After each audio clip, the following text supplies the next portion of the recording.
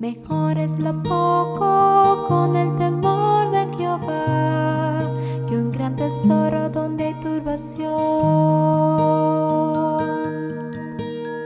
Mejor es lo poco con el temor de Jehová, que un gran tesoro donde hay turbación.